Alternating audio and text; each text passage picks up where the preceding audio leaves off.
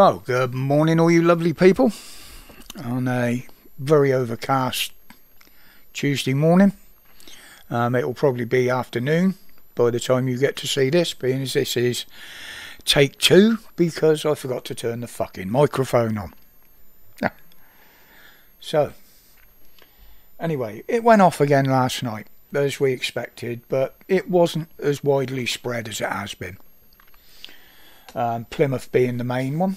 That got the worst of it, with pro illegal and anti illegal immigration protesters, with the police in the middle.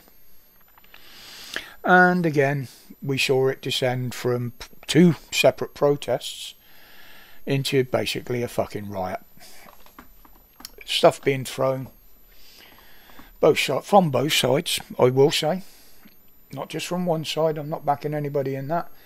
And the police in the middle, taking it from both sides because it was a lot of it was falling short and hitting them.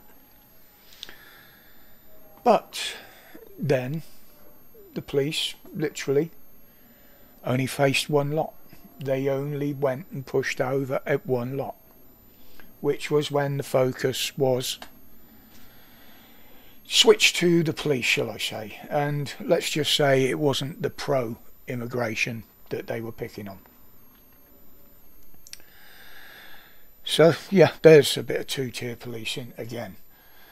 But now you put that against what happened here in Birmingham last night with a certain demographic mob um, running the streets or around the streets in one area and this happens. Getting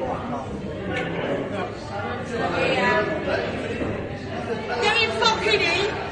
No, you're gonna be.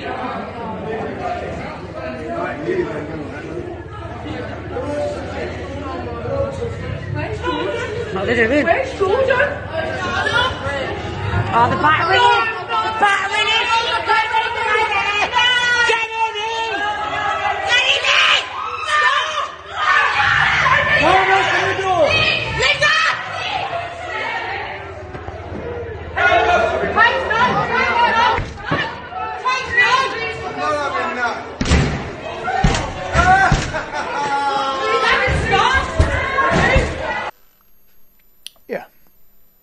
Was an attack on a pub. Um, obviously, the guy stood outside of the pub was. I couldn't hear what he was saying, but um, no matter what, the others were the other side of a fence and they decided to uh, come in and attack the guy. At which point, all hell broke loose outside the pub. Now, they'd been wandering the streets for some time, but did you see any police there? No. There was no police anywhere fucking near it. And then we have this incident.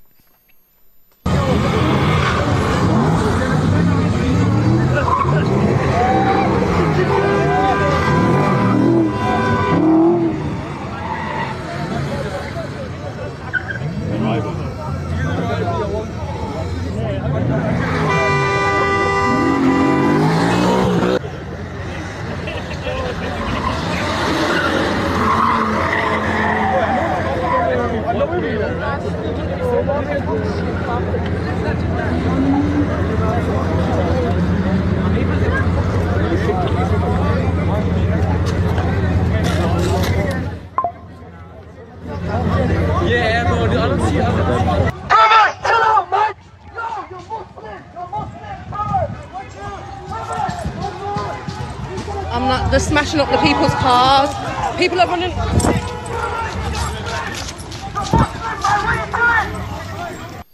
Well, two incidents.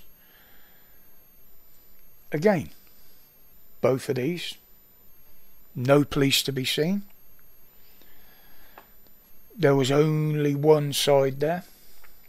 There weren't no other, weren't no protests or anything from anybody else. These were just thugs running around on the streets. Yet when anybody else, shall I say, has a protest or there's a, a large group of people, they're faced with this. Now, you tell me. Are the police doing their job? To me, this just points out that there is a protected species. Species. I shouldn't say that. That is bang out of order. Um, not a certain demographic of people that are protected, and another group that aren't. We've seen this. We've seen groups of them with knives. We've seen groups of them doing all sorts of things in front of the fucking police, and the police do nothing. So there you have it.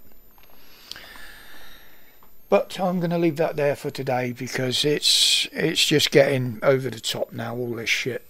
And we'll have a look at the rest of the world, see what's going on. I haven't done that for a long time. Um, as you know, I used to, you know, have a look around now and again every week. And uh, first of all, first stop will be California. Now, from what I've heard, and one or two reports I've seen, um, anybody flying into California the other day was being tested at the airport. Um, this is all being pushed by the CDC, the Centre for Disease Control over there.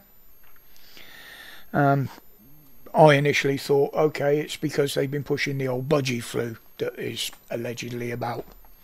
But apparently it wasn't. This was all about an outbreak of COVID. Hmm. Are they starting that shit again? Well, you fooled millions and millions of people once, but I don't think you'll find they'll be as easily fooled this time. But allegedly, that's what's going on there.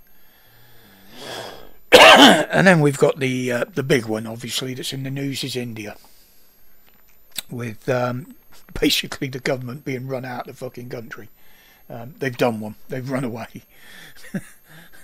I mean, yeah, the the violence and the deaths that have been going on in the protests over there make England look like a fucking picnic, to be honest. Um, the army took over, and uh, they're looking to install an interim government, apparently. But the people of India have said they will not back and they will not support a government that is installed or supported by the army. So that's going to be ongoing, and um, I I do believe we can see a lot more visitors, I'll call them, coming over from there. But finally, oh dear, Paris. Now, I haven't mentioned that since the opening ceremony. Um, the reason being I couldn't give a flying fuck. Um, if it's not motorsport of any description, then to be honest, I'm not really interested. I will watch mountain biking, but the mountain biking they have at the Olympic is not the sort I'm interested in. It's not the downhill. But from what I've heard and seen now, it's it's nothing and never has been right from the start other than a woke gender fest, an eco propaganda event.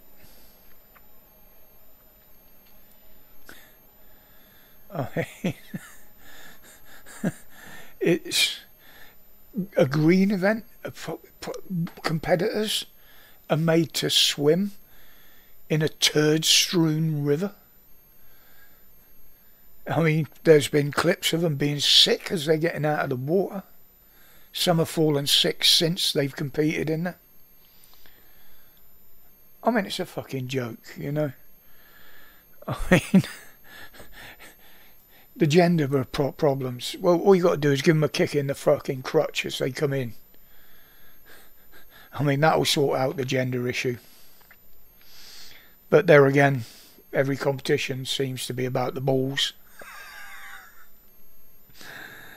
Oh dear. Right from the opening, it's been an absolute farce. And I mean, I, I seriously think that this should be the last Olympics. If it's going to go like this, with the state the world's in now, it just ain't worth it. I, I think it should be laid to rest. it's had a good run. But um, that's just my opinion. Right, guys, um, there will be a live tomorrow night if anything interesting is kicking off, obviously I'll dig into that and be showing you that. Um, don't know if there'll be a video tomorrow. The fatigue's been kicking in quite bad again lately. So, but it was good to see Dan back on Sunday um, with the PAP Live. Um, how regular it's going to be, um, I don't know. Um, he hasn't said too much. But until the next time, guys, as always, stay safe, stay strong, and don't fear the fear. Fear is the only thing to fear itself. Stay safe, guys. Respects.